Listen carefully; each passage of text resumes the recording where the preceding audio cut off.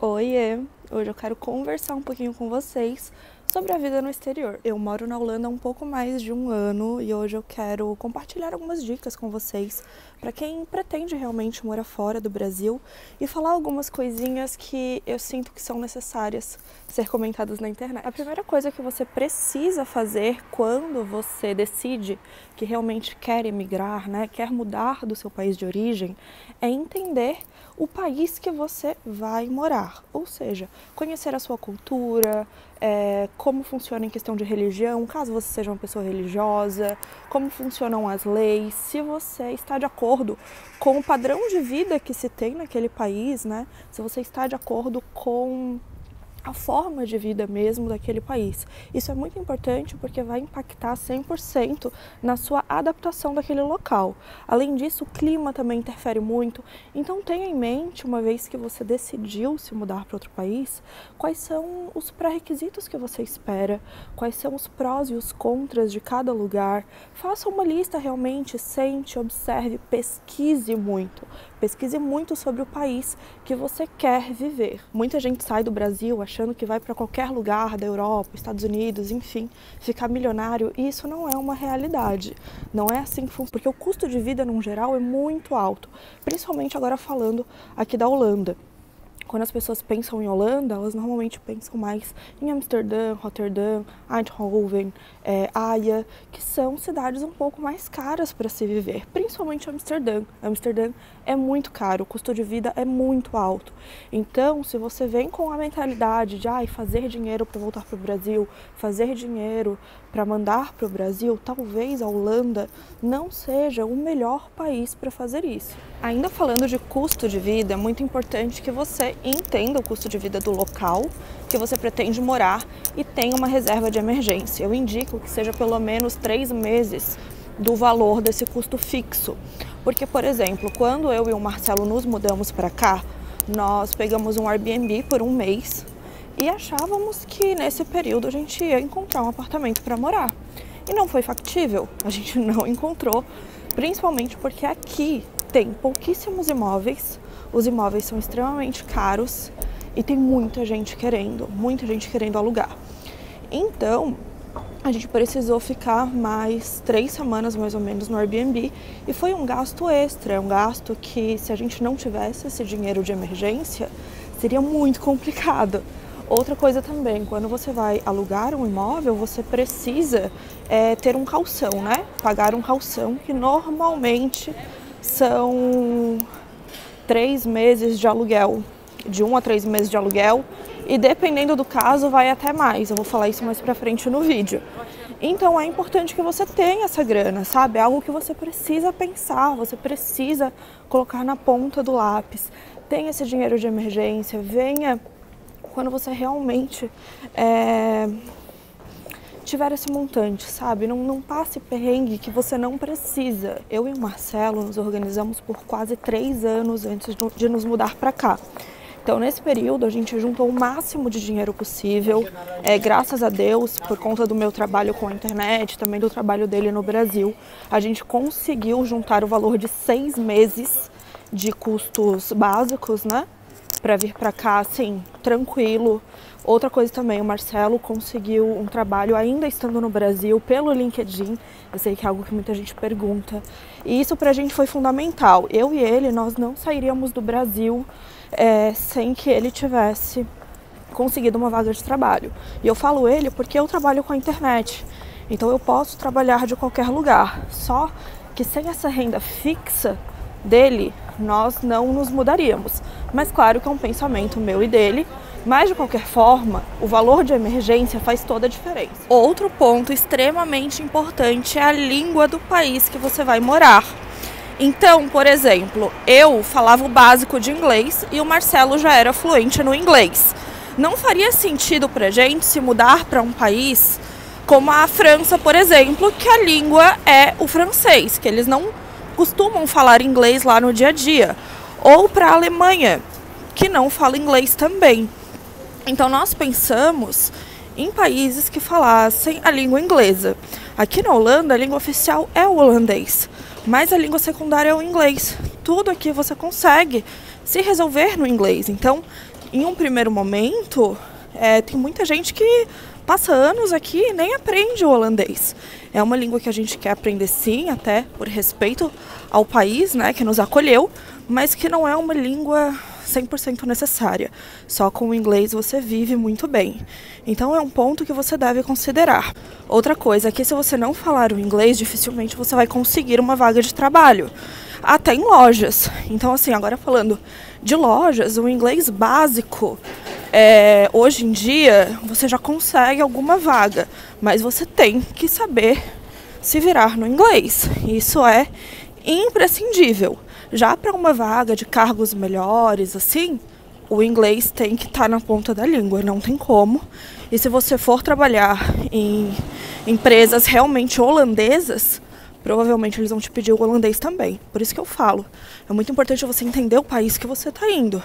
E saber a língua é fundamental. Como eu disse, como eu disse, eu cheguei aqui com o inglês básico. Hoje em dia eu já me viro super bem, já meu inglês já está aí no intermediário, mas no meu caso eu trabalho com o público brasileiro, né? Aqui na internet. Então, para mim é muito mais tranquilo ir aprendendo aos poucos. Mas se eu chegasse aqui e fosse procurar uma vaga de trabalho, provavelmente logo no início eu não conseguiria por conta do meu inglês não ser tão bom assim. Então, se você quer se mudar, uma das prioridades na sua organização da mudança é estudar a língua do local que você vai morar. Agora tem alguns pontos que eu quero muito conversar com vocês. Aqui na internet tem muita gente que mostra a sua vida, né, morando fora do país, mostra a sua rotina, mas eu sinto que de alguns anos para cá, principalmente, é é quase que imposto que o imigrante ele tem que passar perrengue e que se ele não mostra perrengues o tempo todo, ele está mostrando uma vida irreal. E isso não é verdade, não é verdade. Sim, tem muita gente que passa muito perrengue e tem pessoas que não, tem pessoas que passam menos. Isso não quer dizer que a vida da pessoa é irreal, que ela está mentindo na internet. Isso quer dizer que são condições diferentes. Eu quero que vocês entendam muito bem isso porque tem alguns pontos que devem ser levados em consideração. E esses pontos são: você veio de forma legal ou de forma ilegal?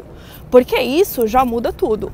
Uma pessoa que está aqui de forma legal, ela tem todos os seus direitos pelo governo, ela tem é, auxílios caso necessário, ela tem a documentação. Uma pessoa que está aqui de forma ilegal, ela não tem direito à saúde, por exemplo, porque aqui você precisa pagar o seguro saúde. Se você não tem a sua documentação, você não consegue fazer o cadastro. Então, se você fica doente, por exemplo, você pode ir até a Cruz Vermelha e pagar uma consulta, enfim. Mas de resto, você não tem é, acesso ao sistema de saúde. E, consequentemente, você não tem acesso a muitos medicamentos porque aqui os medicamentos são com receita médica. Então, se você não vai ao médico, você não tem a receita para comprar o medicamento que você utilizaria para uma sinusite, para uma bronquite, enfim, para alguma coisa que você tenha. Outra coisa, se você trouxe ou não uma reserva de emergência. Isso também é muito importante.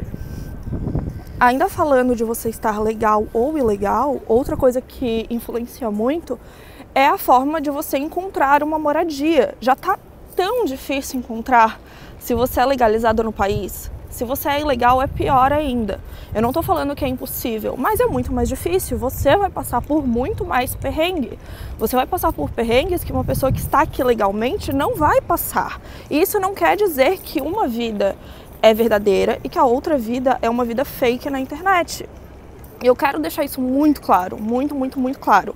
Outro ponto, se você fala ou não a língua local. Isso também vai influenciar muito na quantidade de perrengues que você vai ter no país. Se você trouxe ou não uma reserva de emergência, se você veio com um emprego ou não, ou você veio na loucura para tentar um emprego aqui, por mais que você seja legalizado, enfim.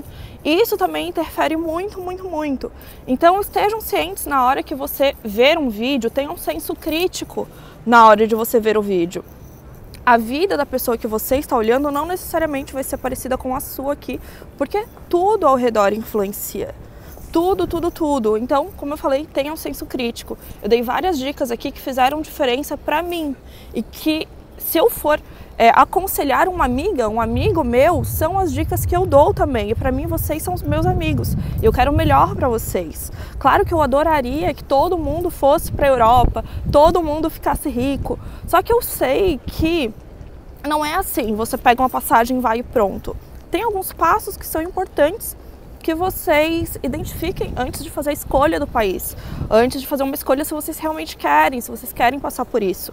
Agora falando de perrengues que todo mundo passa, são mais os psicológicos, porque mudar de país não é fácil psicologicamente. Por mais que você entenda a cultura, por mais que você tenha escolhido o país, por mais que você tenha estudado tudo, você emergir numa cultura que é completamente diferente da sua, é muito difícil, requer um tempo, requer dedicação. Muitas vezes, muitas vezes requer que você desfaça laços e desfaça raízes que você construiu durante toda a sua vida.